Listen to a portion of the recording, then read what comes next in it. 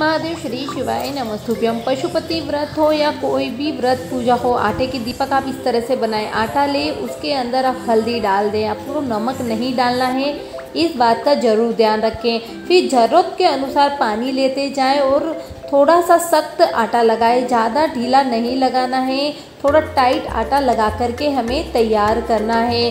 इस तरह से दीपक बनाने से, हल्दी वाली दीपक बनाने से घर में लक्ष्मी आती हो थोड़ा सा हाथ में देसी घी ले गाय का और इस तरह से आटे को चिकना करते हुए और गोल शेप, कोई चोच नहीं रखनी है आटे के दीपक में। इस बात का विशेष ध्यान रखें, आटे के दीपक में चोच नहीं होती है। गोल आकृति का आटा का दीपक बना करके तैयार करना है, बहुत ही सुंदर।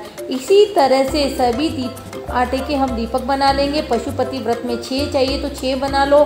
बाकी आपको जिस व्रत में जितने चाहिए उतने दीपक बना करके तैयार करें।